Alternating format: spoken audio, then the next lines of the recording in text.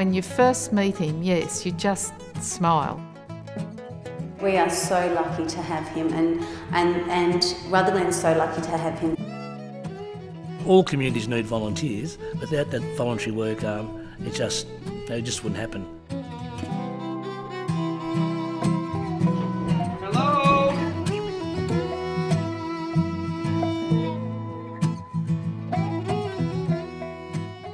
I'm Brendan Smith, uh, born and hopefully die in Rutherglen. Um, married, two little kids, just average Joe. That's probably about me. Nothing special. We're at the Rutherglen Town Hall. It's just uh, about the only thing in Rutherglen where we hold all our big events. Pretty special place to me. I just sort of, you know, because growing up around here, all the plays are done here with school plays, and like we do a dance show, and anything that comes to town usually comes to here. So I didn't actually meet Brendan till two years ago when the hall had recently been refurbished splendidly, and as Arts Rutherglen people, we thought it would be fabulous to run something that would fill the hall. So we came up with the idea to run the Comedy Festival Roadshow. About four weeks out from the roadshow arriving, we realised that we'd signed a document to say that we would supply the lighting and the sound. There was no lighting and sound. The uh, refurbishments did not cover that. So, virtually in tears, down here at the hall, and Brendan happened to be here. Lovely big smile. What can I do for you, ladies? And told him everything. I think I can help you out with that. And I thought, well, God, here's an opportunity. I thought, well, um, off I go and started writing emails and, and, and what have you. And, the, and basically, the rest is history. I was hooked up with the a, a lovely guy from Indigo Shire called Phil Pryor in the engineering department. Lucky he actually overseen the works here on the on the Reno and was quite disappointed the lights didn't get put in. I offered him a bit of a solution. I said, look, mate. Um, I'm prepared to come and put some lights and stuff in. Look, I'm prepared to do them for nothing. You just give us a go ahead. And he basically got straight back to me and said, oh, look, you know, what do you need? And I, and I said, look, I'm a man of my word. I said, if you, if you can pay the $1,000 for the first stuff, I'm happy to do the, do the rest. Thanks to Brendan, we actually have permanent lighting that means you can run anything that requires anything dramatic and professional. We also now have sound that is of a professional quality, and we also have somebody who can run it all. So I went and basically taught myself. I went down to Yarrawonga, and there was a lovely guy down there at this Allegra Theatre Company. He walked me down basically everything I copied off his the template of their hall. Um, he showed me how the lights worked, you know, he invited me a couple of their rehearsals, and I was blown away. I couldn't believe live theatre. You know, I'd never even seen it before. And, uh, and he was a bit of my mentor, and just put a little message around to the community groups about wanting some lights and stuff. And everyone threw in like a couple of hundred dollars. The schools threw in a couple of hundred dollars. Started, you know, buying things online, and pretty soon I was possessed with it.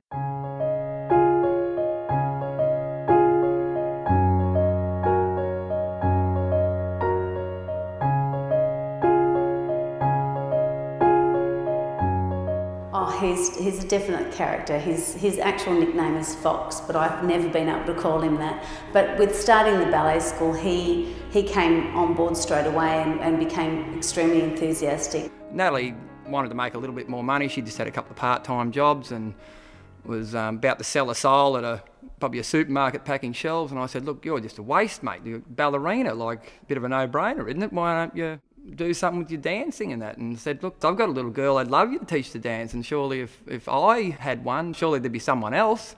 So then Brendan um, found this hall for us, which the Uniting Church was doing up and said, I think I've found a space for you. And then he made the freestanding bars so that we could just use them and then stack them away. And then the church said that we may bolt them to the walls. And then, of course, mirrors because the children need to see what they look like. I bought everything and Brendan did it all for us, so it was great.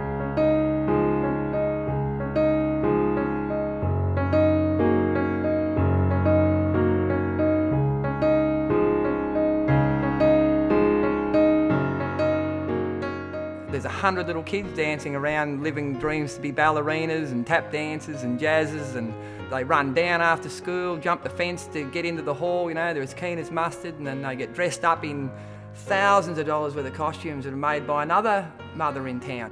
So he sits on eBay now and actually calls me and says, Natalie, did you know there's a six lot of costumes on there? And like, his wife's very, very patient with him because he's always on the phone talking about ballet costumes or backdrops and, and new lights and things. So he's, he, once he gets hold of an idea, he becomes very passionate about it.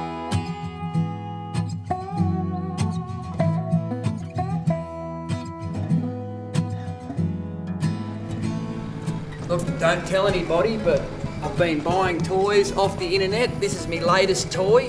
$23,000 worth of stage lighting in 2002. Paid pits for it, $200. That's me, one of my best little babies.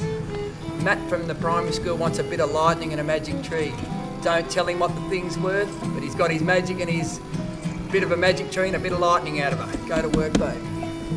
Well, I first met Brendan at last year uh, as a tradesman. I needed some work done around the school, and one of our parents knew Brendan, had a bobcat, and did a bit of bobcatting around the hall. So that was great. That's where I first met uh, Fox, as we call him. Look around this hall here. This is just an awesome facility for us. We're only a school of 80, so we couldn't have a facility at school like this. We're only a small school. So to have school productions and meetings and all those sort of things is just fantastic. Each of the schools chipped in some money, and this week, for example, this month, for example, the high schools had their production, the primary schools had their production, now we're having our production. So we all sort of work together to help each other out. These are our school chairs, which I lent to the primary school last week for their production. Um, Brendan's come down with sound and lighting. So without Brendan, this wouldn't happen. We couldn't use this. We'd be up at school, probably lugging lights down and mics down and that type of thing. I can't run sound and I can't run lights. And in our parent body, we haven't got those people with those sort of skills. So for him to give up his time uh, for all parts of our community is just uh, just awesome.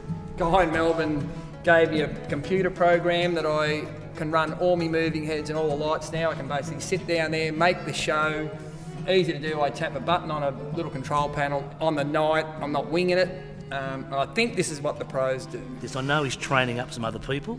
He's got a couple of people at the high school he's training up, so that his legacy will be he's trained these people up. So when he does drift away or move on, there's someone's going to be here with those skills. That's really important to think about the future because we need to think about if he's not here, who's going to do this stuff. Some people drink, you know, some people fish.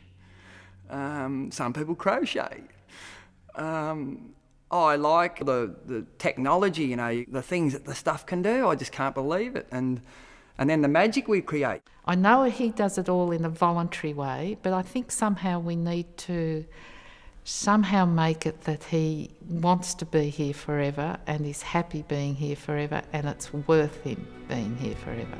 Rutherglen's so lucky to have him because the hall is now in a state where we can have shows come in and it's set up for a professional show. And those little kids, they're up there as bigger than bravest little things you've ever seen, running around that stage like it's like it was their second home. I just can't believe it. The whole thing is like you couldn't pay me enough to do it, you know? Like it's um yeah, I'm just probably a bit addicted to it.